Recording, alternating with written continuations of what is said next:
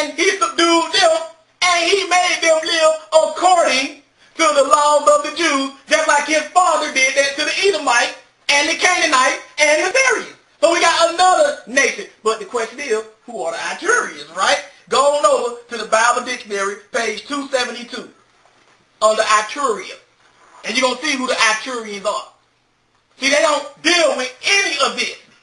We already got Edom, a black nation, keeping and incorporating the Israel, the laws of Israel. We already got the Canaanites being forced to do it. We already got the Syrians being forced to do it. Now we got the Itureans being forced to do it. Who are the Itureans?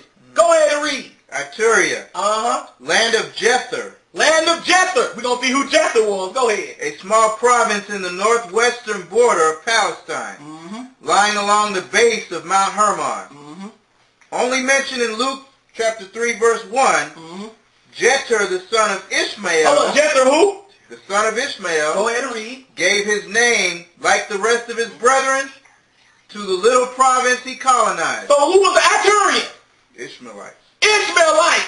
What color were the Ishmaelites? black. So you got yet another black nation being converted over to the ways of the Jews. So all of these black nations practicing the ways of Israel, but you know today that you are Israel.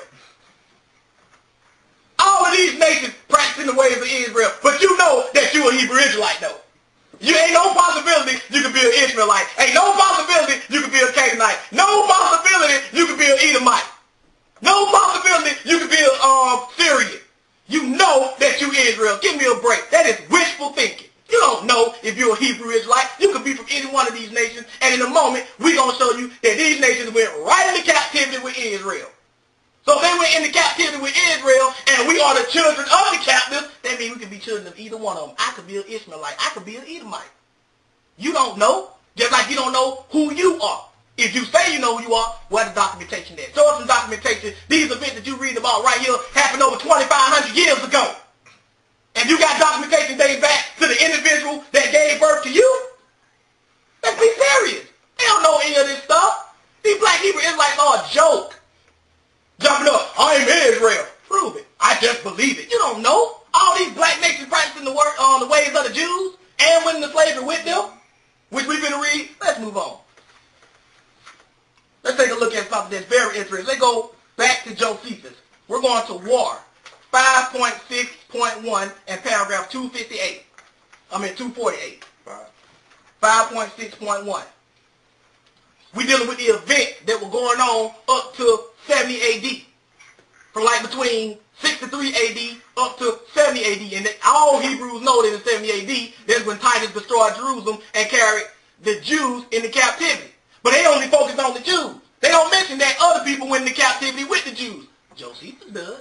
As a matter of fact, they don't even understand that the main people that were fighting against the Romans, helping the children of Israel fight against the Romans, was the Edomites.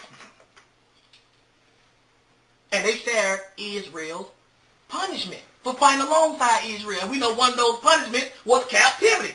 But don't take my word for it. Let's read it in history. See, we don't just give you opinions here. We don't give you how we feel. We give you facts. That's why it's called the absolute truth. No room for lies or personal opinions. Go ahead and read. This is, this is War 5.6.1, paragraph 248. Go ahead and read. Now the warlike men that were in the city, and the multitude of the seditious And the word seditious means rebellious. Go ahead. that were with Simon were ten thousand. Now this guy Simon was an Edomite. And he's in the city. This is talking about Jerusalem. As a matter of fact, he is within the gates of the temple. He is one of the people guarding the temple trying to keep the Romans out. But let's see who he was working with. Go ahead. Besides the Idumeans, Besides the who? Idumeans, This guy was an Idumean ruling over the Idumeans, the Edomites.